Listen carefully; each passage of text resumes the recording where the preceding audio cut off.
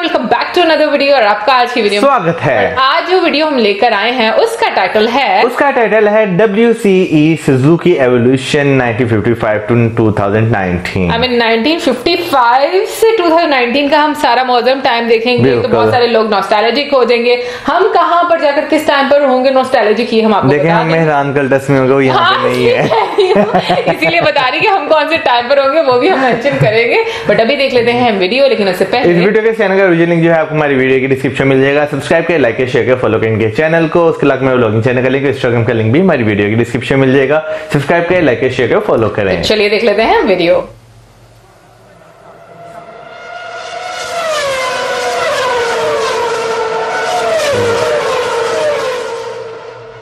चलो। एक्टर्स का देखते थे, अभी ये इनका देखते। हैं। कैसी होगी मॉडल अच्छी थी यार। सुजू लाइट अच्छा मॉडल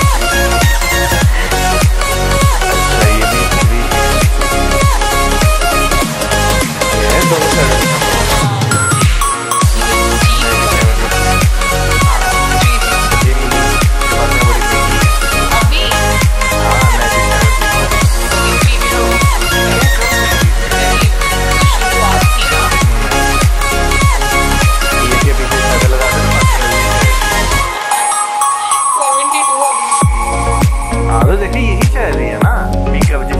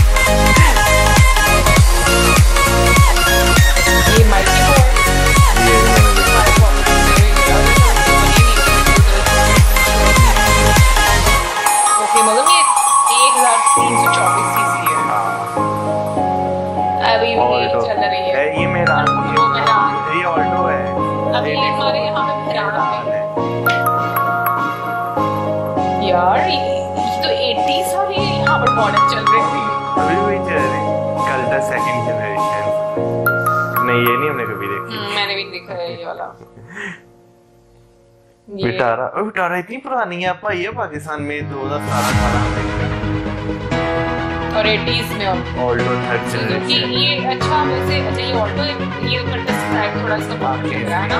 हाँ। नहीं ऐसी वाली भी नहीं मैंने देखी। है ना। एट जनरेशन होगा मुझे लगता है आगे जाके पटना भी वाह ये भी नहीं क्या भी चीज़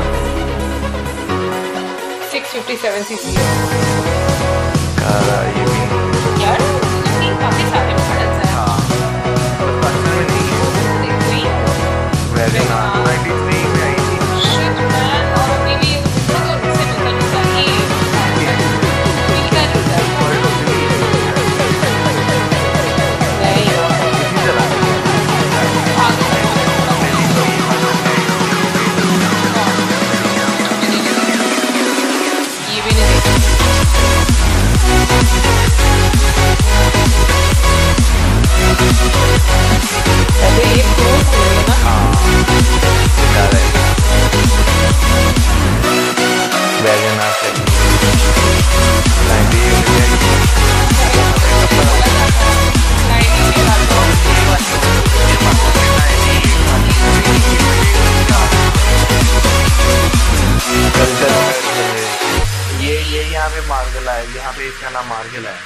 लेकिन बंद हो गई थी। क्यों? कामयाब नहीं ना रही। काई? कई? के कई? काफ़ी डिफरेंट नेम है यार और मॉडल्स भी ग्रैंड विटारा 1998 यानी अठानवे सीसी वाओ यार विटारा के काफ़ी स्टार मुझे तो ऐसे लग रहे थे हॉलीवुड मूवीज़ में आप देखते होगे ना?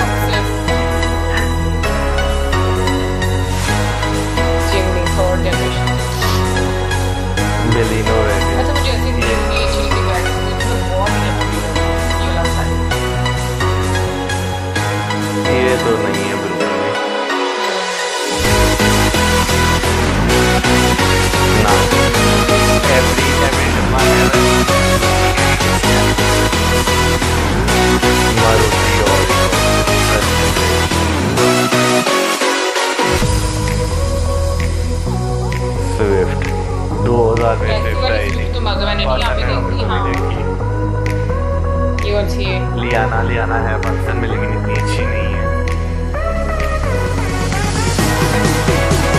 वैगन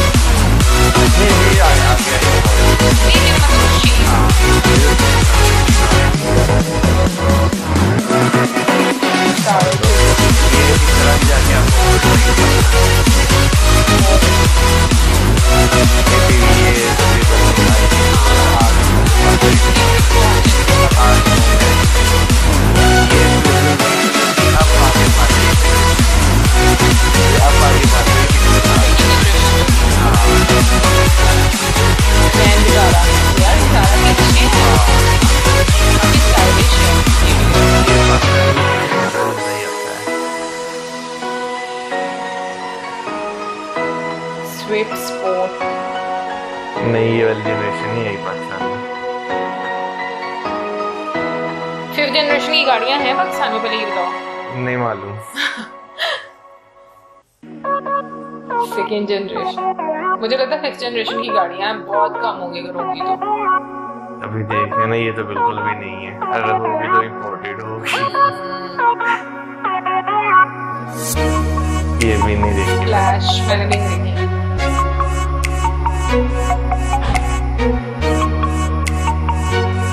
लैपिन सेकंड जनरेशन वैसे अच्छा लगता है ना? ये भी देखी। मुझे हैरान हो रही है देख के मौसम कितने ज़्यादा मॉडल है सुजुकी में। फोर्थ जनरेशन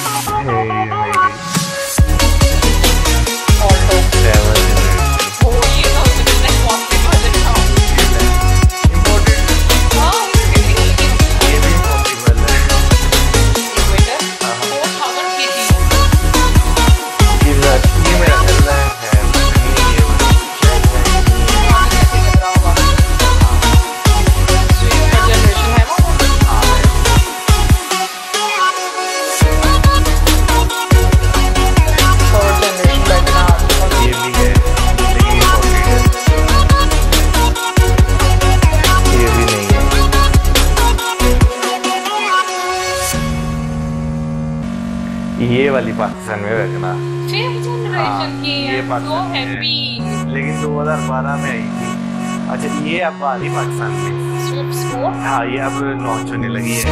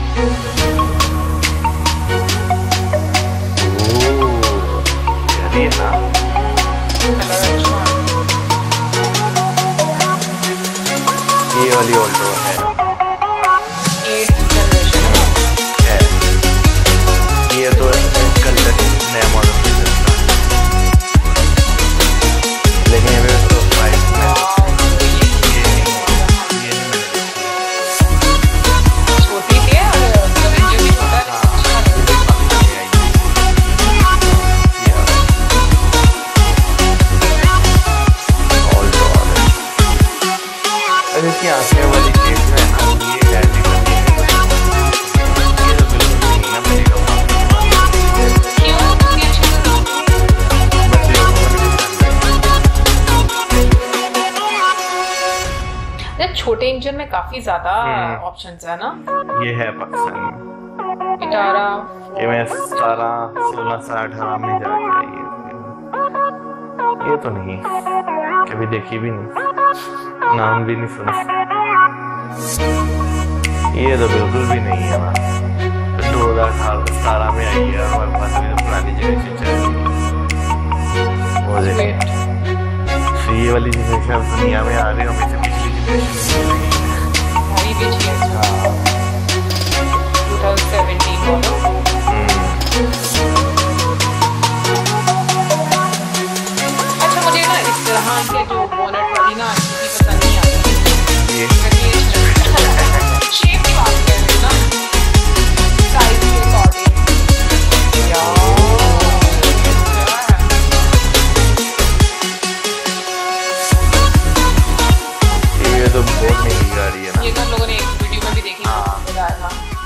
आठ लाख की यहाँ फोर्टी फाइव की। गाड़ियों की अगर बात की जाए तो गाड़ियाँ जो है पाकिस्तान में आपको देखने को तो बहुत सारी मिलेंगी लेकिन वही पुरानी घिसी फिटी और वही जो यू नो एक बड़े लंबे अरसे से गाड़ियाँ चलती आ रही हैं वही कंपनीज़ हैं। और अगर आपको कोई डिफरेंट गाड़ी सॉरी आपको इंटरप्ट कर दिया डिफरेंट गाड़ी देखने को मिलेगी तो समझ ले वो 90 परसेंट चांसेस हैं कि उसे इंपोर्ट किया गया। मैं भी बात देख रही हूँ कि क्योंकि अगर आपको कोई डिफरेंट गाड़ी नज़र आ रही है तो बिल्कुल मत सोचें कि वो पाकिस्तान में इजीली अवेलेबल होगी। लेकिन आ, मैं ये बात बोलूँगी कि वाकई में मुझे नहीं समझ में आता कि हमारी पॉलिसीज़ इतनी खराब क्यों है।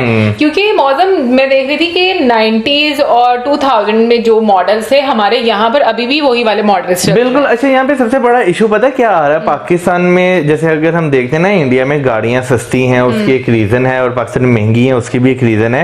रीजन ये है कि इंडिया में मैन्युफैक्चरिंग प्लांट्स लगे हुए हैं लेकिन अगर पाकिस्तान में देखा जाए तो यहाँ पे असम्बलिंग प्लांट लगे गाड़ियाँ बन के बाहर से आ रही हैं। लेकिन यहाँ पे आके उनके एक एक पुर्जे को जोड़ा जा रहा है। चलो मौसम फिर भी अगर मैं कह रही हूँ कि चलो वो भी ठीक वो भी मान लिया लेकिन आप इतना पे कर रहे हो और उसके बावजूद जो आपको क्वालिटी मिल रही है हाँ। जो टेक्नोलॉजी मिल रही है बिल्कुल अपडेट टेक्नोलॉजी नहीं है तो वो चीज़ भी तो गलत है ना एटलीस्ट अगर संबल बाहर से होकर आ रही है जो भी प्रॉब्लम चल रही है कि आपकी खुद ही कंट्री में मैन्युफैक्चर नहीं हो रही तो आप पे तो कर रहे हैं ना। आप उसको तो वैल्यू करो लेकिन क्योंकि अगर दूसरी साइड पर अगर हम जैसे इंडिया में देखते हैं हाँ। ऑटोमोबाइल सेक्टर इतना ज़्यादा मैं कहूँगी कि वास्ट है कि वहाँ पर आपको डिफरेंट वैरायटी की गाड़ियाँ और देखो मौसम के जैसे कि हम लोगों ने बीच में ऐसी गाड़ियाँ भी देखी जो कि 80s में भी और आई थिंक हाँ 80s के एरा में ही हम लोगों ने देखा कि जो कि मतलब बहुत छोटी छोटी गाड़ियाँ मतलब अब टू सीटर्स कह लें है ना उस तरह की गाड़ियाँ। तो ये देखो कि कितनी देर पहले वहाँ पर चेंज आना शुरू हो गया। यार अगर हम यहाँ पे बात करें तो आप देखें अभी तक जो पिकअप गाड़ी आ रही है दो गाड़ियाँ पिकअप और कैरी डब्बा ये दो गाड़ियाँ ऐसी हैं कि ये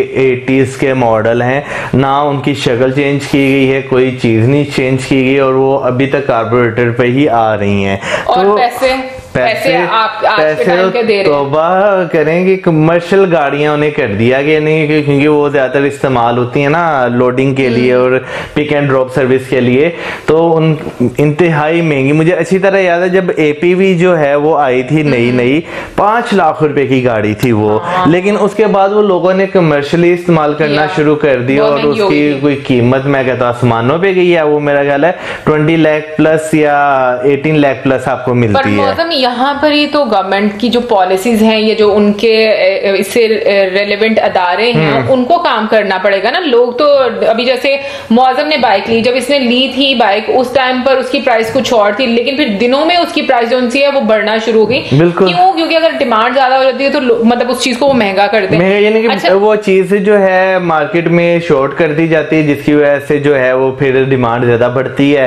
लोग फिर ज़्यादा पैसे देने पे भी वो मजबूर हो जाते हैं तो लोगों लोगों में वाकई आनी चाहिए कि यार ठीक है नहीं आ रही इंतज़ार को हम इंतज़ार कर लेंगे लेकिन वो प्री बुकिंग के चक्रों में ना कि भाई बस हमें मिल जाए हमें मिल जाए वो बहुत महँगी हो जाती है। ये चीज़ बहुत बुरी लगती है। हमारे यहाँ पर ना ये बड़ा मसला है कि ना जो जितनी महँगी चीज़ होती है ना आप उतना उसके पीछे भागते हम्म। हैं। यानी कि आपको कुछ एक्सक्लूसिव चीज़ें लेनी है अपने लिए भाई क्यों वो आपको प्रोमिनेंट नहीं करती? मुझे ऐसा लगता है कि आप सिर्फ़ अपने बारे में नहीं सोचना चाहिए। आपको ये सोचना चाहिए अगर आप अफोर्ड कर सकते हैं तो बाकी लोगों का क्या अगर चीज़ें महँगी होती जा रही हैं तो मैं उस सूरत में कह रही हूँ लेकिन ठीक है एक प्राइस फिक्स है अच्छे से उसको यू नो बैलेंस प्राइस है तो फिर तो मैं कभी भी उस चीज़ को लेकर प्रॉब्लम मेरे ख्याल में कि, किसी को नहीं होना चाहिए और दूसरा चीज़ के मतलब जो हम कैरी डिब्बा की बात करते हैं हाँ। उसको उसकी बात करें या फिर उसके अलावा जो लगेज के लिए जितनी भी यू नो पिकअप्स वगैरह हाँ, यूज़ हाँ। की जाती हैं अगर आप उनकी शक्ल देखें ना तो उनकी क्वालिटी आपको ऐसे पता चलेगा कि इसे हाथ मारने से ना इसमें डेंट पड़ जाएगा ठीक है? इसके अगर कंपैरिजन में अगर हम लोग टाटा के ट्रक्स देखें जो हाँ। मिनी ट्रक्स भी देखें वो देखने में भी क्वालिटी में अच्छे लगते हैं। बिल्कुल। अच्छा यहाँ पे मैं ये बात करना चाहूँगा क्योंकि मैन्युफैक्चरिंग नहीं है गाड़ियाँ बहुत ज़्यादा महँगी है तो गवर्नमेंट को इस पे पॉलिसी बनानी चाहिए कि भाई आप अपने यहाँ पे प्रोडक्ट सेल कर रहे हैं आप अपना मैन्युफैक्चरिंग प्लांट लगाएँ। क्योंकि जब प्लांट लगेंगे मैन्युफैक्चरिंग की चीज़ें सस्ती होंगी। और दूसरा नो डाउट लोगों में भी अवेयरनेस आना बहुत ज़रूरी है और अभी रिसेंटली मैंने पढ़ रहा था कि जो सुप्रीम कोर्ट ऑफ़ पाकिस्तान है उन्होंने जो है एक नोटिस जारी किया है कि जितनी भी यानी कि ये ऑटो मैन्युफैक्चरिंग कंपनीज़ है पाकिस्तान में वो गाड़ियों में एयर बैग्स लाजमी अब लगाए। ये हद नहीं है वैसे इतनी महँगी गाड़ियाँ गाड़ियाँ और एयर बैग्स नहीं होते उनमें। जैसे हम वैगन आर में बात करें तो उसमें भी हमें देखने को नहीं मिलता। अब शायद आके उसमें आना शुरू हो गया लेकिन पुरानी में नहीं है। और अगर हम मेहरान की बात करें कल्टस की बात करें कोई एयर बैग्स नहीं है। और इतनी और और समटाइम्स समटाइम्स क्या होता है कि आपका एक्सीडेंट होता है तो ये भी सुनने हाँ। में आया कि एयर बैग्स ही नहीं खुलते। एग्जैक्टली exactly, बिल्कुल ये भी सुनने में आया है। पिक्चर्स डाली हुई है कि अगर मतलब इस तरह का कोई वाकया हुआ है और एयरबैग्स खुले ही नहीं तो ये वाकई में मेरे ख्याल में जितने भी ऐसे डिपार्टमेंट्स है ना उनका काम है गवर्नमेंट का काम है इसको इंस्पेक्ट करने का। अच्छा दूसरी बात ये मौजम कि जैसे मौजम ने बोला कि जो कंपनीज़ हैं उनको बोलेंगे यहाँ पर आकर मैन्युफैक्चरिंग करे उसके साथ साथ मुझे लगता है कि लोकल मैन्युफैक्चरिंग पर बहुत ज़्यादा फोकस करना चाहिए पाकिस्तान बिल्कुल। क्योंकि ऐसा नहीं होता कि लोगों में टैलेंट नहीं है या लोग बना नहीं सकते। अगर आप उनको रिसोर्सेज दें उनको अपॉर्चुनिटीज़ दें तो मुझे लगता है कि लोग यहाँ पर भी काम कर सकते हैं। पहले भी तो इंडस्ट्रीज़ थी ना यार मैं यहाँ पे ये कहना चाहूँगा बांग्लादेश ने भी पहली गाड़ी बनाने वाली इंडस्ट्री लगा ली है। और पता है अभी ना मैं एक पिक्चर देख रही थी और उसमें इंडिया और पाकिस्तान की जीडीपी का मतलब उसमें फिगर्स दिए हुए थे। हाँ। और मतलब एक टाइम था जब पाकिस्तान की जीडीपी ज़्यादा थी इंडिया से और फिर धीरे धीरे क्या हुआ? जीडीपी इतनी ज़्यादा कम हो गई और आज इंडिया की जीडीपी देखो कितनी ऊपर है। सेवेंटी तो एटीज में अगर बात की जाए पाकिस्तान की तो पाकिस्तान की ग्रोथ रेट बहुत अच्छी थी और जहाँ तक मैंने पढ़ा है टेन परसेंट के हिसाब से ग्रो कर रहा था पाकिस्तान। लेकिन उसके बाद जो है पॉलिसीज़ इस तरह की बनाई गई और क्या नाम लेते हैं जो चीज़ें हैं वो इस तरह हम मसले मसाइलों में अपने आप को खुद धकेल लिया कि वो अब तक जो है उसके हम इफेक्ट्स जो हैं बर्दाश्त कर रहे हैं। कि उन मसलों में जिनमें हमें नहीं पढ़ना नहीं चाहिए था, पढ़ना हम चाहिए उन मसलों में भी पड़ गए और अगर मैं कहती हूँ कि लोगों को अवेयरनेस नहीं आई तो ये हम लोगों को बहुत देर तक फेस करना पड़ेगा। बट पता है मौसम अभी मुझे अच्छा ये लगता है कि हम लोग क्योंकि जब डिफरेंट लोगों से हमारी बातचीत होती है तो मैं देखती हूँ कि लोगों में काफ़ी सोच में चेंज आ रहा है।